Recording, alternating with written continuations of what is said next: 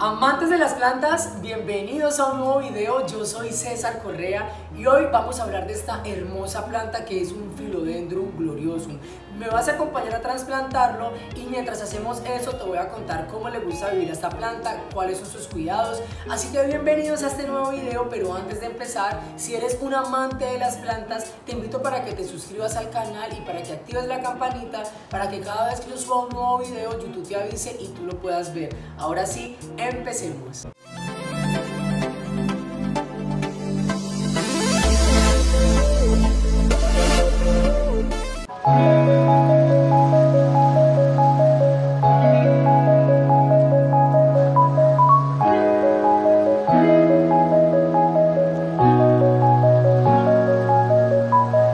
Amigos, vamos a empezar este video contándote por el origen de esta planta, pero vamos a hacer una de las cosas más importantes cuando llega una planta a casa y un vivero, que es revisar el sustrato y revisar sus raíces. Muchas veces las personas llevan del vivero una planta a casa y la sacan de acá y no revisan el sustrato ni las raíces y la siembran directamente en la maceta. Eso es un grave error porque lo que nosotros debemos hacer cuando llega la planta a casa es soltar sus raíces para que pueda compenetrarse muy bien con el nuevo sustrato. Es lo mejor que puedes hacer por cualquier planta. Te voy a contar una de las cosas que más me hace feliz de hacer este video y es contarte que esta planta es nativa de los bosques colombianos, se encuentra distribuida en México y también en el norte de Argentina. En este momento ya se encuentra distribuida por todo el mundo porque se usa como una planta de ornamento, entonces está en muchas partes del mundo. Vamos a iniciar este proceso sacando nuestra mata de esta bolsa que tiene acá. Voy a acercar la cámara para que lo puedas ver muy bien. Ok amigos, vamos a seguir hablando de esta hermosa planta. Te quiero contar que esta es una planta del sotobosque. Como ya te lo he dicho en muchos de mis videos, pero si eres nuevo en este canal, te cuento que el sotobosque es toda la vegetación que crece por debajo de los árboles dentro de los bosques. Es vegetación que crece sin luz directa. Es decir, que ya te vas dando cuenta de más o menos cómo le gusta vivir a esta planta. Identificar cómo vive cada planta en la naturaleza es muy importante, porque identificando cuáles son sus necesidades naturales, vamos a tener que simularle ese lugar en nuestra casa. Al ser una planta de sotobosque, es apta para ser una planta interior. Esta planta no debe exponerse a la luz directa del sol porque pueden quemarse sus hojitas. La mayoría de las plantas que crecen en los sotobosques o que es sotobosque, pues son plantas herbáceas son plantas arbustivas o son plantas rastreras. Los filodendros son plantas semi-epífitas, ya que estas plantas se van pegando a los troncos de los, de los árboles buscando la luz del sol, no directa como te acabo de decir, y se pegan y alcanzan a tener medidas súper, súper gigantes. Lo que vamos a hacer ahora es aflojarle mucho más la raíz de lo que está. Vamos a cambiarle completamente el sustrato por otro que sea mucho mejor para esta planta. Así que vamos a hacer este proceso bien hechecito. Vamos a aflojarle esta tierra pelmazada. Vamos a buscar bichos porque los bichos en las matas ya lo hemos comprobado en varios de los videos que hemos hecho juntos y es que pasa lo que está pasando acá y miren acá acabo de encontrar nuestra primera amiguita lombriz por acá la veo por acá la veo. Vamos a sacarla muy bien. No sé si la alcanzas a ver en este momento creo que no pero mira por acá está. Entonces lo que vamos a hacer es cambiar completamente el sustrato para evitar que estos animalitos nos encharquen la tierra o el sustrato en que viven nuestras plantas. Aunque estas plantas son de ambientes muy húmedos, no es lo mismo una planta que crezca en un ambiente artificial como es en nuestras casas a que crezca en la naturaleza. En la naturaleza pueden tener muchos bichos, en nuestra casa no se debe porque eso complica el manejo del sustrato. Entonces vamos a revisarla muy bien para evitar que en el nueva maceta en la que va a estar ella se lleve esos bichitos y pueda estar un poco mejor. Así que continuemos. En este momento quiero aprovechar para mostrarte cómo se puede dividir esta planta, cómo se puede reproducir. Esta planta se produce por medio de esquejes o por medio de rizomas. Mira, esta planta era en un vivero la compré así, pero realmente de aquí puedo sacar dos, tres plantas, mira, puedo sacar tres plantas, pero la idea mía no es esa, sino trasplantarla toda a una sola, así que procedamos con nuestro proceso.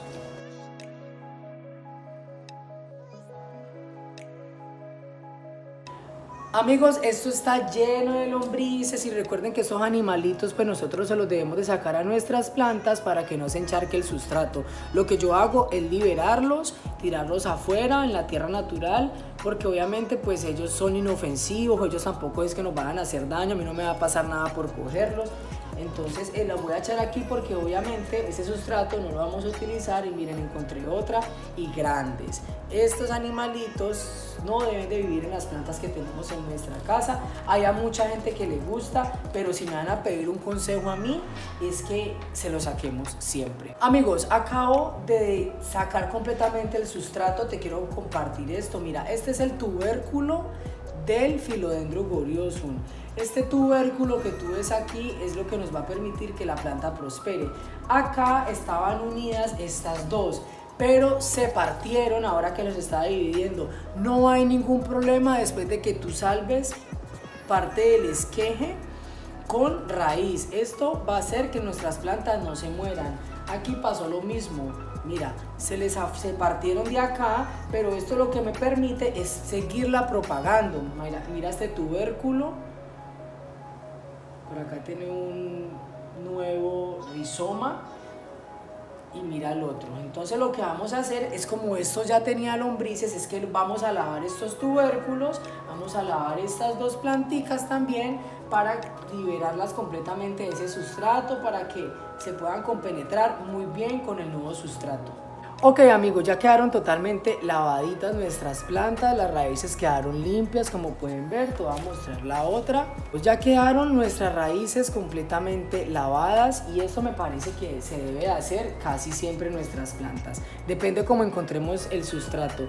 Mira, lavada tú completamente y esto es muy beneficioso para ellas porque les da la oportunidad de seguirse reproduciendo más sanamente.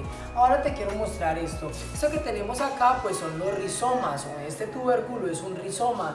Este rizoma o este que está acá se puede dividir en muchas partes si se conserva la raíz. Incluso si no se conserva la raíz es muy probable que un pedacito de estos te pueda brotar.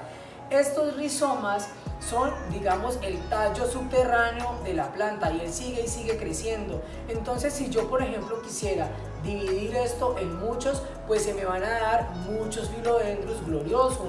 Pero yo en este caso, pues no lo voy a, ya está dividido, en lo que voy a hacer es trasplantarlos a la misma maceta donde van a ir todos. Esto va a hacer que empiecen a brotar pues muchas plantitas en esta misma maceta, así que acompáñame, vamos a plantarla en un sustrato que es bobinaza con tierra de capote. Muchas personas me han preguntado qué es la bobinaza. La bobinaza son las heces de las reses, de las vacas.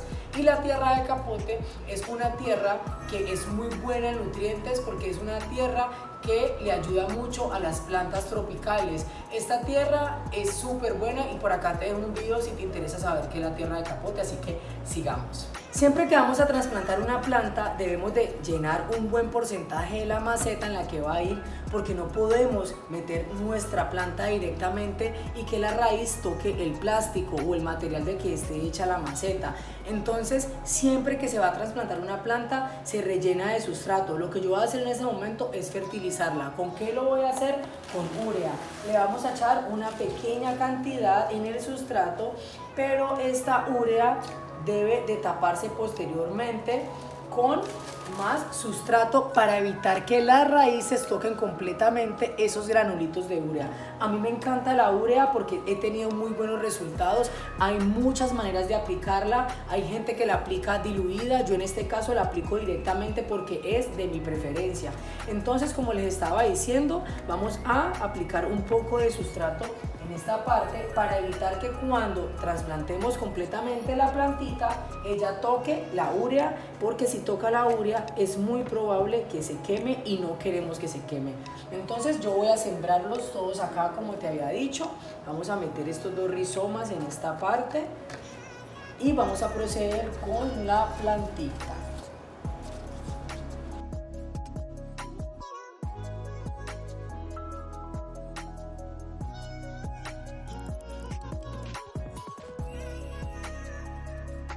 Ok amigos, hemos acabado el trasplante. Ahora lo que vamos a hacer es hablar de la poda.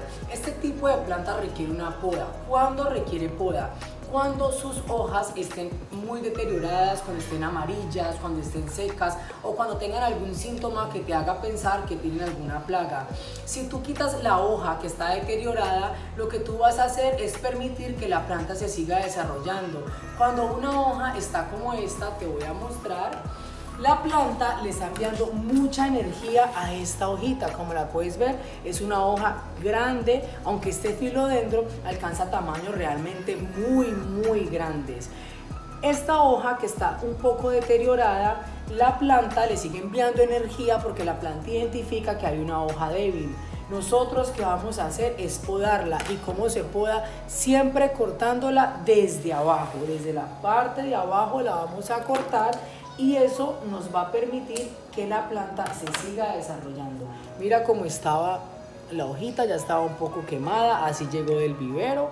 Entonces nosotros lo que hacemos al hacer este tipo de podas es permitir que la planta se siga desarrollando con la urea y los cuidados necesarios, una buena humedad sin encharcar el sustrato, esta planta te la va a mostrar en un tiempo y vas a ver que va a estar realmente hermosa. Vamos a resumir cuáles son los cuidados de este Philodendron glorioso. Uno es vegetación de sotobosque, es decir, que no debe recibir los rayos directos del sol. Dos, es una planta de climas tropicales, por lo que necesita una hidratación constante. Pero recuerda que estar hidratado no es igual a estar encharcado.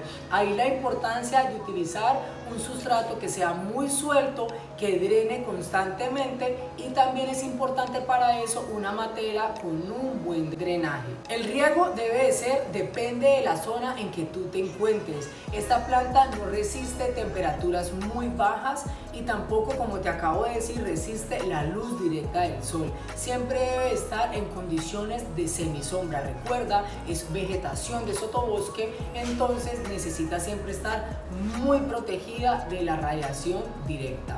Esta planta también tiene flor, es una flor muy bella que te la dejo por acá para que la observes.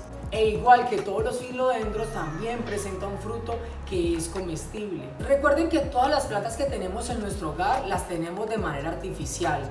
Por eso es importante fertilizar los sustratos, darles alimento a las plantas, porque eso nos asegura de poder nutrir completamente la planta para que ella prospere en nuestro hogar. Espero que les haya gustado mucho este video, como a mí me gustó grabarlo para ti. Espero que hayas aprendido un poco de cómo le gusta vivir a esta maravillosa planta. Y no olvides de suscribirte al canal para que sigamos aprendiendo juntos sobre este maravilloso mundo de las plantas. Te mando un abrazo y nos vemos la próxima vez.